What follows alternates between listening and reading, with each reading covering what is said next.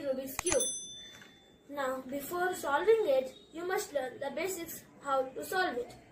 So, for the basics, first we need to learn how many types of pieces are there in the Rubik's Cube.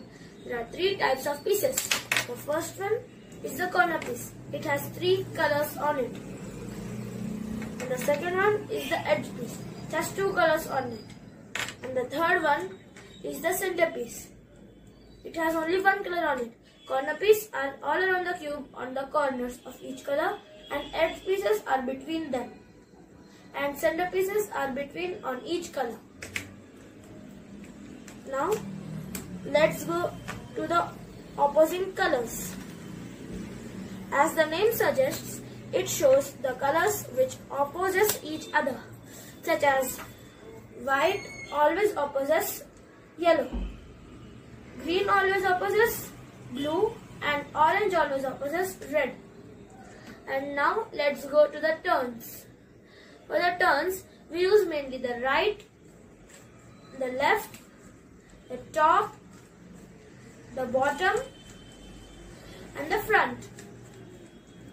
Now let's go with the solving of the cube.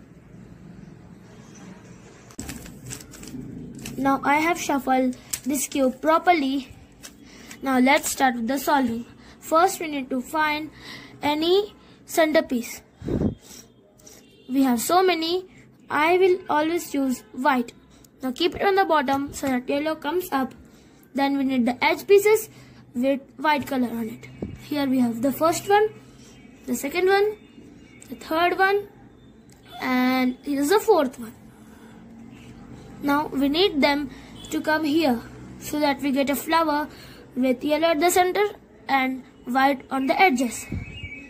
These two are already on the right position for this one. It's on the second layer and by the way this is the bottom layer. This is the second middle layer, top or third layer. It's on the second layer so we can do it easily by turning this. This was our first scenario. For our second scenario, the piece is on the bottom layer but it is on the bottom.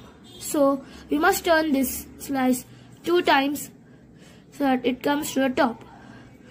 For our third scenario this is on the top layer but it is wrong orientated. For this we should turn this slice so that it comes to the second layer and turn this. But wait a minute. While we are turning it this white color is disturbing. So we should shift this color with a non-white color and then do it.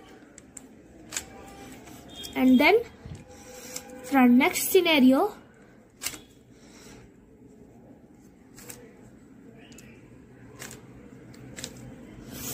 white color is on the bottom layer again but it's facing front. For this we have to turn this so that it goes to second layer sure that it is a non-white color and then do it. We got a lovely floral design with a yellow on the center and white on the edges. This is all for the first part. Make sure you see the second part and like and share this video and subscribe my channel and hit the bell icon if you want to see more of them. Thank you.